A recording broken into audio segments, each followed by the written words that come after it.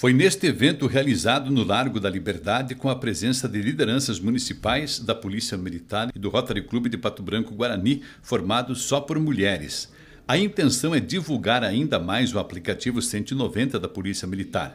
Para isso, foi criado um QR Code que leva direto para o aplicativo. O Rotary Clube Guarani, sendo um, sendo um clube de mulheres, é, apoiou esse esse projeto e nós eh, fizemos parceria para que esse projeto tivesse fosse realizado.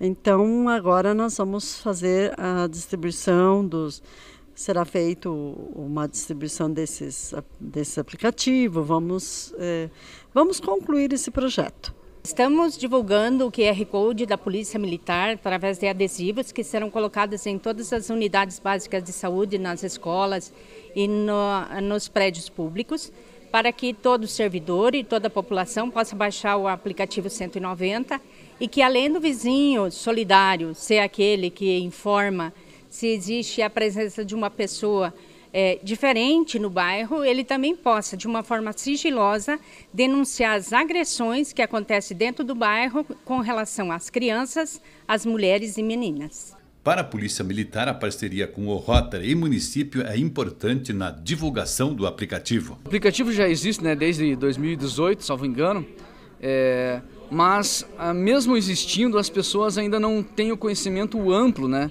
da, do serviço do aplicativo 190. É, principalmente a situação que nós estamos combatendo agora é, da mulher contra a mulher, né, violência doméstica. Então a operação Mulher Segura, é, essa situação de divulgação do aplicativo novamente através e, e, o seu acionamento através do QR Code é uma é uma situação nova que foi buscada em conjunto com a com o Rotary Guarani, né? Representando as mulheres, e a Prefeitura de Pato Branco.